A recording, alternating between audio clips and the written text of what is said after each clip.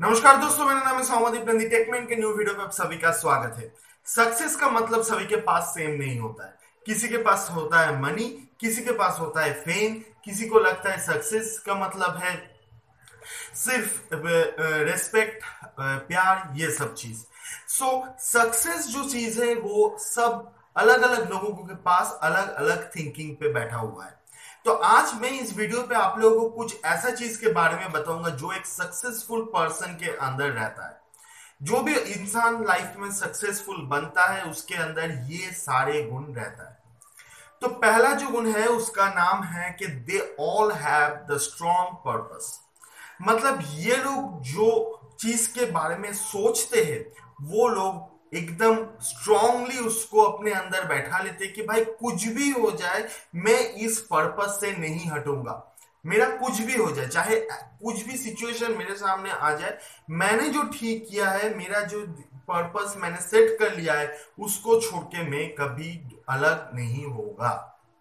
So the next point is they know what they want first of all you have to know what you want when you know that हाँ ये मेरा need है। उसके बाद आप कुछ चीज़ को कर पाओगे।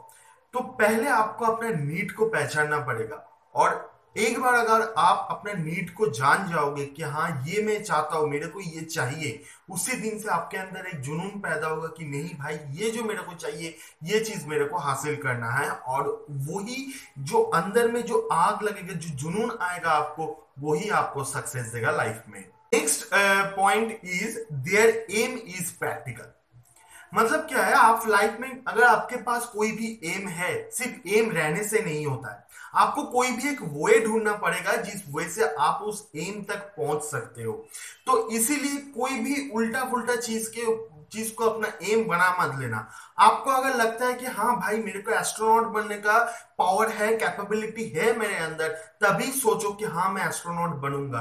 अगर आपको खुद को लगता है कि नहीं भाई मेरे अंदर वो कैपेबिलिटी नहीं है तो प्लीज़ वो चीज़ के बारे में मत सोचो। सो हमेशा जो एम होना चाहिए, वो अपने आप के ऊपर होना चाहिए कि आप अपने आप को किस तरह काबिल समझते हो और उसी हिसाब से आपको अपना एम सिलेक्ट करना चाहिए। Next point is all time they want to learn new things मतलब जो भी सक्सेसफुल पर्सन होते हैं, ये लोग लाइफ में हमेशा कुछ ना कुछ सीखने का कोशिश करते हैं, क्योंकि लाइफ में कुछ भी चीज़ सीखने का कोई उम्र नहीं होता है। तो जो लोग सक्सेसफुल लाइफ में होते हैं ना, वो लोग हमेशा कोशिश करते हैं कि मेरे को हर एक चीज़ से कुछ ना कुछ सीख लेनी है। हाँ मैंने ये छोटा चीज़ देखा बट इसके अंदर भी कुछ मीनिंग हो सकता है। अगर वो मीनिंग ये लोग अच्छे से उधर से निकाल लेते हैं, तभी जाके ये लोग अपने लाइफ में वो चीज़ को यूज़ करते हैं, और उसी के बाद बनता है वो लोग एक successful person in their life. Now, the fifth point is they always stick on their aim. जो भी सक्सेसफुल पर्सन होते हैं ना, उन लोगों के लाइफ में जो एम होता है, वो बस एक ही एम को फोकस करता है हर एक चीज़ के ऊपर उसका दिमाग नहीं जाता है तो बस जो एम होता है उसके सामने, उसी पे उसका फोकस रहता है और उसके दिमाग में ये चलता है कि कैसे कैसे मैं उस एम तक पहुंचू इसीलिए एक एम पे आप अगर स्टिक रहोगे अगर आपका फोकस रहेगा उस एम के ऊपर तो आपको लाइफ में बहुत जल्द, जल्दी सक्सेस मिलेगा। इसीलिए सक्सेसफुल पर्सन ऐसा नहीं है कि एक दिन में उसका सक्सेस मिल गया बट बहुत कम टाइम में उसको सक्सेस मिल जाता है, जो ये सारे चीज़, ये सारे गुण अपने अंदर रखते हैं। Next point is highly patience इन लोगों का जो पेशेंस होते हैं ना, ये बहुत ज़्यादा होता है। मतलब आप देख रहे हो कि आप अच्छा चलो भाई, मैंने एक YouTube पे चैनल बनाया और उस चैनल के ऊपर मैं काम कर रहा हूँ हर दिन। दिन का दो घंटा भी मैं काम कर रहा हूँ, फिर भी मैं देख रहा हूँ, मेरा कम से कम मैंने सौ, डेढ़ सौ वीडियो डाल दिए, फिर भी मेरा हज़ार सब्सक्राइबर नहीं हो रहा है। या हज़ार सब्सक्राइबर तो हो गया बट मेरा जो वॉच टाइम है, वो नहीं आ रहा है। लोग ओपन करके छोड़ दे रहा है। मेरा व्यूज़ हो जा रहा है सब्सक्राइब हो जा रहा है बट मेरा जो वॉच टाइम है, वो नहीं आ रहा है। ऐसा कुछ कुछ सिचुएशन पे आपको क्या लगता है कि भाई, नहीं यार, ये यूट्यूब मेरे लिए नहीं है, मेरे से नहीं होगा ये यूट्यूब भाई, हम क्विट कर देते हैं यूट्यूब आप क्या कर जाते हो? आप हार मान लेते हो। आपके अंदर वो पेशेंस नहीं है। आप क्या सोचे कि भाई, डेढ़ सौ वीडियो डाल दिए, मेरा कोई भी व्यूज़ तो आ रहा है बट वॉच टाइम नहीं आ रहा है तो मैं करूँ, मैं छोड़ देता हूँ। बट आप ये नहीं सोचे कि आज डेढ़ सौ वीडियो पे नहीं आ रहा है। हो सकता है कल जब 200 वीडियो बन जाए, तब मेरा वॉच टाइम आना स्टार्ट हो जाए। तो इसीलिए जो सक्सेसफुल पर्सन होते हैं, ये सक्सेसफुल पर्सन हमेशा हमेशा के लिए लाइफ में अपना जो एम है, उसके अंदर फोकस तो रहता है और उसको पाने के लिए उन लोगों के अंदर जो पेशेंस है, वो बहुत ज़्यादा होता है। इसीलिए उन लोगों को सक्सेस मिलता है। Seven point is they are very confident इसका मतलब क्या है कि उन लोग अपने ऊपर बहुत ज़्यादा बिलीव रखते हैं, अपने आप को विश्वास करते हैं कि दे नो देयर कैपेबिलिटी कि उन लोगों के अंदर जो स्किल है, उसके ऊपर इसका बहुत ज़्यादा बिलीव रहता है कि हाँ भाई, मेरे अंदर ये स्किल है, मैं ये काम कर लूँगा। और वो क्या करता है कि नहीं भाई, ये जो स्किल है ना, ये तो है मेरे अंदर, और कुछ देख लेता वो लोग वो नहीं करते। जो उसके अंदर स्किल है, वो उसी को ब्रश अप कर, करके कर, करके उसको इतना अच्छा बना देते हैं कि उसको हर चीज़ में सक्सेस ही सक्सेस मिलते रहता है। Now the eight point is their acceptance power is really high क्या होता है कि हम लोग क्या देखते हैं? कुछ निगेटिव चीज़ देखते हैं तो हम लोग क्या सोचते हैं, अरे यार, ऐसा हो गया। मतलब ठीक है भाई, ये इसको बाईपास करते हैं। नहीं तो अपने साथ अगर कोई भी बुरा चीज़ होता है, मैंने हम लोग माथा पकड़ के बैठ जाते हैं, भाई मेरे साथ क्या हो गया? ऐसा नहीं होना चाहिए। जो सक्सेसफुल पर्सन होता है ना, वो ये सब चीज़ से हार के पीछे नहीं हटता है। वो ये सब चीज़ को अपना लाइफ का हिस्सा मानता है और उसी से कुछ ना कुछ सीख लेने का कोशिश करता है कि नहीं भाई नेक्स्ट टाइम से ऐसा नहीं होगा। तो उसके लिए मेरे को क्या करना होगा? उसके ऊपर मेरे को ध्यान देना ज़रूरी है। Now the ninth point is they ignore negative passion. Negative passion मतलब क्या होता है आपके अंदर कोई भी काम है, आपके अंदर एक स्किल है, आपके अंदर जुनून है, आपके अंदर काम करने का इच्छा है बट वो एक नेगेटिव वाइब स्प्रे कर रहा है किसी के ऊपर। मतलब जो होता है कि सामने वाला जो, जिसके पास एक नेगेटिव पैशन है, वो उससे कभी सीख लेने का कोशिश नहीं करता है। वो क्या करता है कि उस नेगेटिव के अंदर अगर कुछ अच्छा है तो लेगा, नहीं तो नहीं लेगा। नहीं तो छोड़ो भाई, जो जैसा है वैसे ही रहना तो मेरे को और कुछ नहीं चाहिए।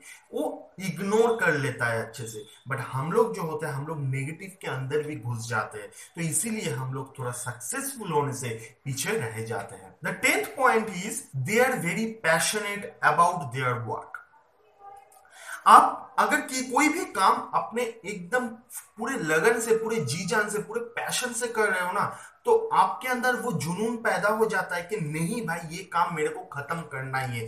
किसी भी हालत में ये काम मेरे को खत्म करना है और इसी सोच उसके दिमाग में बैठ जाता है। जब एक आदमी के अंदर ये पैशन आ जाता है ना कि नहीं भाई, मेरे को ये काम करना है, तब वो काम करके ही छोड़ता है। अगर आप अपने माइंड को ये बात समझा दोगे ना कि हाँ ये मेरे लिए, ये मेरा लाइफ का पैशन है, ये मेरा लाइफ का एम है, इसको मेरे को अचीव करना ही होगा, तेरे को उसी हिसाब से काम करना है। उस दिन से देखना आपको सक्सेस मिलना स्टार्ट हो गया है।